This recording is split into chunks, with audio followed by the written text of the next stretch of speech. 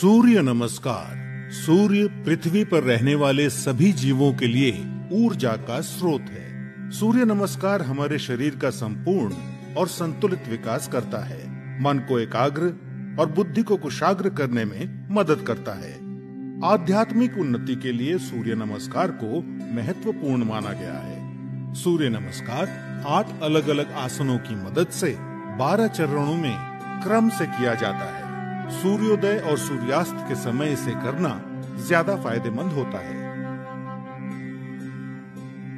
सबसे पहले आप अपने दोनों पैरों को आपस में जोड़ते हुए बिना कंधों को झुकाए सीधे खड़े हो जाएँ। सुनिश्चित करें कि आपके हाथ शरीर के समीप हों और आपकी ठोड़ी ज़मीन से समानांतर हो। अपने शरीर को दोनों पैरों पर समान रूप से संतुलित करें। इस स्थिति को समस्थिति कहा जाता है।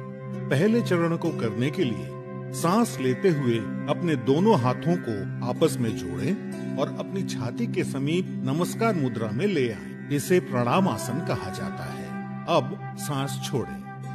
दूसरे चरण में धीरे धीरे सांस अंदर लेते हुए अपने शरीर को कमर से ऊपर की ओर खींचे और अपने दोनों हाथों को अपने सर के ऊपर ले जाते हुए अपने सर और कमर को पीछे की ओर झुकाएँ। अपनी टांगे सीधी रखें। इस आसन को हस्तोत्तनासन कहा जाता है। अब तीसरे चरण के लिए धीरे धीरे सांस छोड़ते हुए अपने शरीर को आगे की ओर तब तक झुकाएँ, जब तक आपकी दोनों हथेलियाँ आपके पैरों के दोनों तरफ़ ज़मीन को छू न ले। ध्यान रखें कि नीचे झुकते समय आपकी भुजाएँ और सर एक ही साथ में हो। इस आसन को पाद हस्तासन कहा जाता है। चौथे चरण को करने के लिए एक गहरी सांस अंदर लें और अपने दाएँ पैर को पीछे की ओर ले जाएँ और अपने घुटने को ज़मीन पर सटा कर रखें। सुनिश्चित करें कि आपका दायां पैर पंजों पर हो, आपका बायां पैर का घुटना 90 डिग्री पर हो, दोनों हथेलियाँ ज़मीन पर हो, आपके कूल्हे नीचे और थोड़ी ऊपर की ओर हो। इस आसन को अश्व संचालन आसन कहते हैं। अब पाँचवें चरण में एक गहरी सांस छोड़ते हुए अपना बायां पैर इस प्रकार पीछे ले जाएँ कि वो आपके दाएँ पैर की सीध में हो। सुनिश्चित करें कि आपके हाथ और कंधे सीधी रेखा में हो और साथ ही कंधे, पीठ और नितंब भी एक ही सीध में हो। इस आसन को संतुलन आसन कहा जाता है। इस स्थिति में धीरे धीरे सांस लें। छठा चरण। सांस छोड़ें। अब अपने दोनों घुटनों को एक साथ ज़मीन पर रखें और अपनी छाती और माथे को भी ज़मीन पर रखें सुनिश्चित करें कि आपके कूल्हे ऊपर की ओर और, आपकी कोहनिया आपके शरीर के समीप हों इस आसन को साष्टांग नमस्कार आसन कहा जाता है क्योंकि आपके शरीर के आठ अलग अलग अंग जैसे दोनों पाँव के पंजे दोनों घुटने दोनों हथेलियाँ छाती और माथा ज़मीन को छूते हैं ध्यान रखें कि आपके शरीर का वज़न आठों अंगों पर सामान्य रूप से वितरित हो अब सातवें चरण के लिए सांस अंदर लेते हुए अपनी श्रोणी यानी पेल्विस को नीचे लाते हुए अपने सर और छाती को आगे की ओर सरकाएँ और अपने शरीर के ऊपरी हिस्से को नाभि तक उठाएँ। सुनिश्चित करें आपके पैरों के पंजे बाहर की ओर और, और टांगे सीधी हों। इस आसन को भुजंग आसन कहा जाता है। आठवां चरण। धीरे धीरे सांस छोड़ते हुए अपने पैरों के पंजों को अंदर की ओर मोड़ें और अपने कूल्हों को इतना ऊपर ले जाएँ कि आपका शरीर एक पर्वत का आकार ले ले। सुनिश्चित करें, आपकी दोनों टांगे सीधी, हथेलियाँ ज़मीन पर हों और आपका सर भुजाओं के बीच हो। प्रयास करें कि आपकी एड़ियाँ ज़मीन को छू सके। इस आसन को पर्वत आसन कहा जाता है नौवे चरण के लिए अपने कूल्हों को नीचे लाएँ और सांस लेते हुए दाहिने पैर को आगे लाएँ और अपने बाएँ पैर के घुटने को ज़मीन पर रखते हुए पुनः अश्व संचालन आसन में आ जाएँ। दसवें चरण में अपना बायां पैर भी आगे लाएँ और सांस छोड़ते हुए पुनः पाद हस्तासन में आ जाएँ। ग्यारहवा चरण अब धीरे धीरे सांस अंदर लेते हुए, अपने शरीर को सीधा करते हुए अपने दोनों हाथों को ऊपर की ओर ले जाएँ और पुनः हस्तोत्तनासन में आ जाएँ। सुनिश्चित करें कि ऊपर आते समय आपकी भुजाएँ और सर साथ में ऊपर आए बारहवा चरण धीरे धीरे सांस छोड़ते हुए पुनः प्रणाम आसन में सीधे खड़े हो जाएँ। अब इस पूरे अनुक्रम को अपने बाएँ पैर से दोहराएँ। सूर्य नमस्कार से आपके फेफड़ों की क्षमता बढ़ती है। सूर्य नमस्कार आपके मेटाबॉलिज्म में सुधार लाता है और मधुमेह के प्रबंधन में उपयोगी पाया गया है। सूर्य नमस्कार अंत श्रावी ग्रंथियों, यानी एंडोक्राइन ग्लैंड्स के स्राव को नियंत्रित करता है। सूर्य नमस्कार आपको वज़न को सही रखने में मदद करता है और आपके मेरुदंड और आपके कमर की मांसपेशियों को मजबूती प्रदान करता है। उच्च रक्तचाप यानी हाई बीपी के रोगियों को इस आसन को सावधानी के साथ करना चाहिए। हर्निया और पेप्टिक अल्सर के रोगियों को सूर्य नमस्कार नहीं करना चाहिए।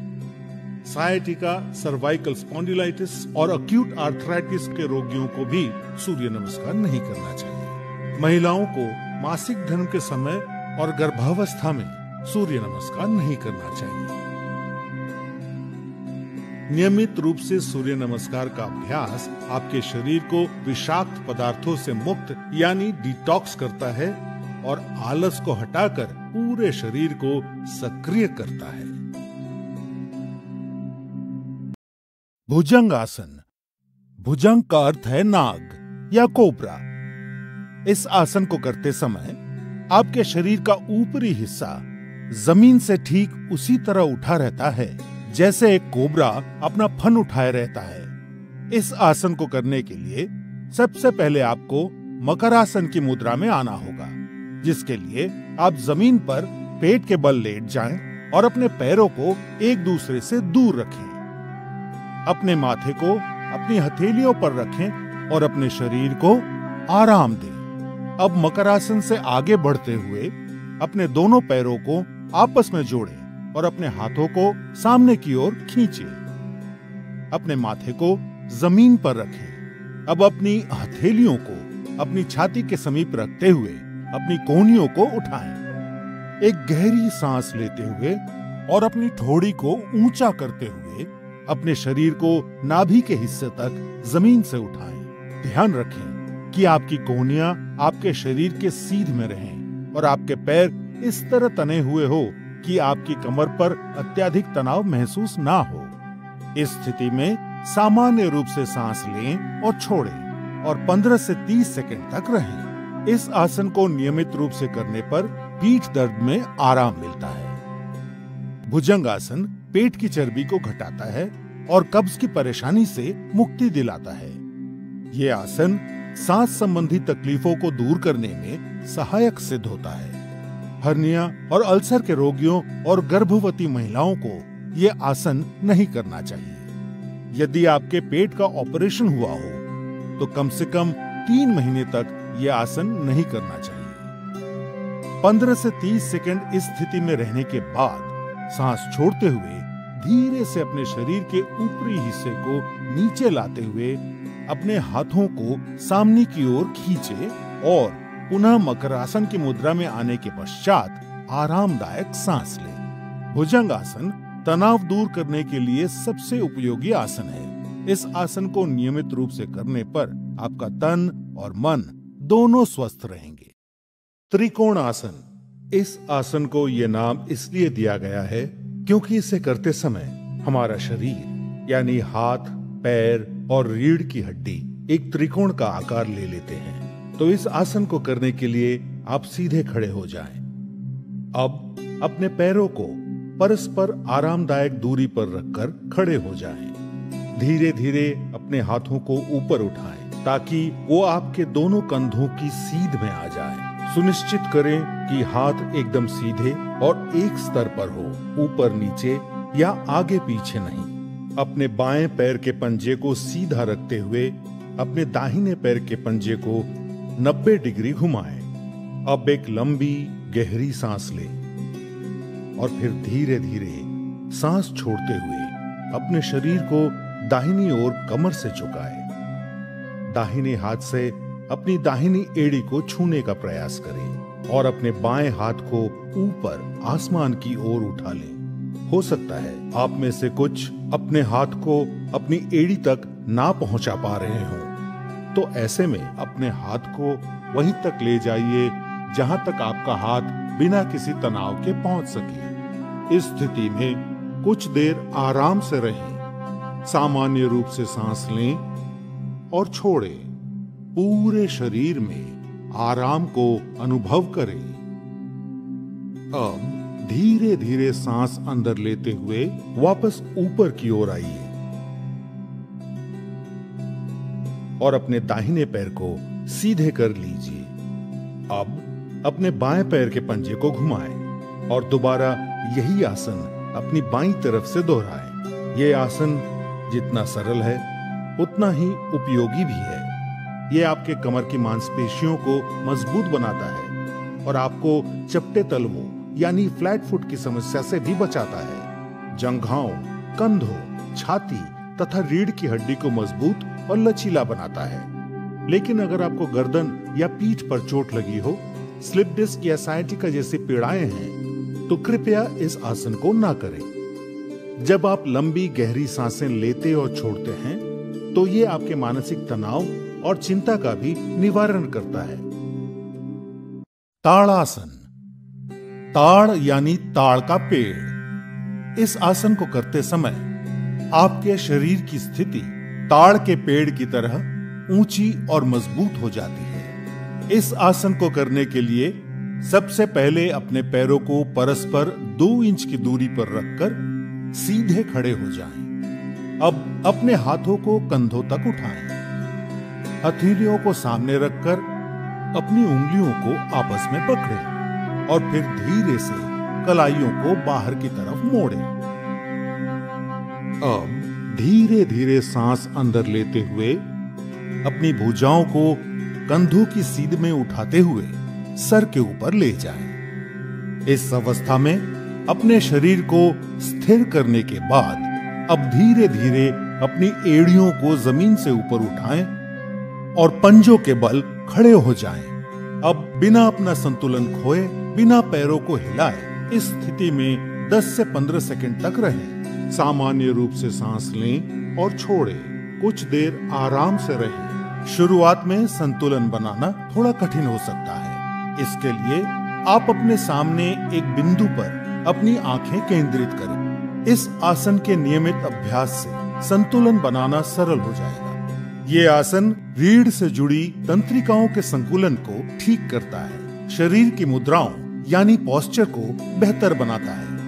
इससे जांग घुटने और एड़ियाँ मज़बूत होते हैं। यदि आप हृदय रोग, सर चकराना या पैरों में सूजी हुई नसों जिसे वेरिकोज वेन कहते हैं, से पीड़ित हों तो ये आसन ना करें। 10 से 15 सेकंड तक इस मुद्रा में रहने के बाद धीरे से अपनी सांस छोड़ते हुए अपनी एड़ी को वापस ज़मीन पर रखें। धीरे से उंगलियों को खोलें और अपने हाथों को नीचे लाकर वापस सीधे खड़े हो जाएँ। इस आसन का नियमित अभ्यास शारीरिक और मानसिक संतुलन विकसित करता है। शशांक आसन, संस्कृत में शशांक का अर्थ है खरगोश। इस आसन में आपके शरीर की स्थिति एक खरगोश की तरह हो जाती है। इस आसन को करने के लिए सबसे पहले आप वज्रासन की मुद्रा में बैठ जाएँ। अपने हाथों को अपने घुटनों पर रखें। अब अपने दोनों घुटनों को आरामदायक स्थिति में जितना हो सके उतना फैलाएँ। सुनिश्चित करें कि आपके पैर के अंगूठे एक दूसरे को परस्पर छू रहे हों अब अपनी हथेलियों को घुटनों के बीच रखें अब सांस छोड़ें और अपनी हथेलियों को आगे की ओर खींचते हुए अपने शरीर को झुकाएँ। सुनिश्चित करें कि आपकी भुजाएँ समांतर हों और आपकी ठोड़ी ज़मीन पर अपनी दृष्टि सामने की ओर बनाए रखते हुए इस मुद्रा में कुछ देर आराम से रहें। सामान्य रूप से सांस लें और छोड़ें।